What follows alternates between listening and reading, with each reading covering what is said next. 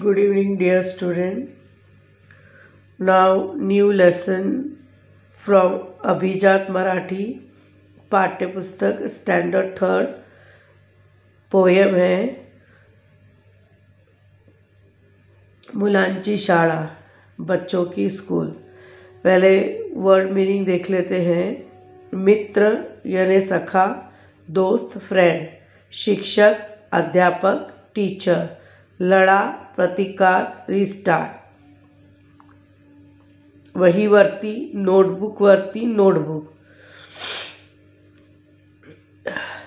ओड़ा रेखाटा, ड्रॉ, लिहा।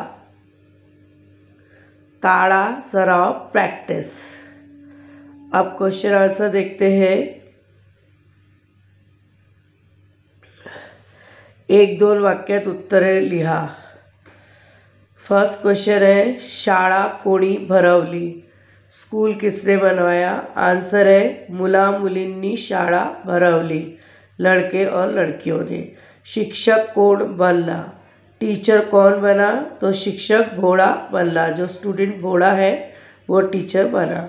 गणित शिकवताना शिक्षक काय म्हणाले? यानी जब वो मैथ्स बता रहे थे टीचर तब वे क्या बोले? आंसर है गणित शिकवताना शिक्षक म्हणाले कि, वही वर्ती ताड़ा करा. टीचर ने क्या कहा? मैथ्स समझाते समय, एक्सप्लेन करते समय कि अपनी जो नोटबुक है उसमें प्रैक्टिस करो।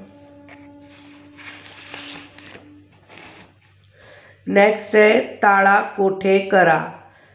प्रैक्टिस कहाँ करना है? तो आंसर है ताड़ा वही वर्ती करा, जो नोटबुक है उसमें प्रैक्टिस करना है। ताड़ा का मीनिंग प्रैक्टिस है। कवितेचा ओड़ी पूर्ण करा। आपको पोएम की जो है, इनकम्प्लीट लाइन को कंप्लीट करना है। एकदा मुला मुलींनी भरवली शाळा त्याचाच एक मित्र शिक्षक बनला भोड़ा वाक्यात उपयोग करा। मेक सेंटेंस बनाने हैं आपको। पहला है शिक्षक। मीन्स टीचर, वर्गा शिक्षक, छान शिकवता। ऐसा उसका सेंटेंस बनेगा। आप और भी कुछ बना सकते हैं। पुस्तक, मला पुस्तकाचे वाचन करने आवड़ते। मुझे जो है पुस्तक, यानी किताब पढ़ना, उसकी रीडिंग करना अच्छा लगता है। आवड़ना मतलब अच्छा लगना लाइकिंग वाचन मीन्स रीडिंग गणित गणित हा विषय मला कठीण लागतो। जो गणित मतलब मैथ सब्जेक्ट है, विषय ने सब्जेक्ट, वो कैसा लगता है? हार्ड लगता है। कठिन मीन्स हार्ड लास्ट है मराठी। मला मराठी विषय खूब आवड़ते. मुझे मराठी सब्जेक्ट बहुत अच्छा लगता है।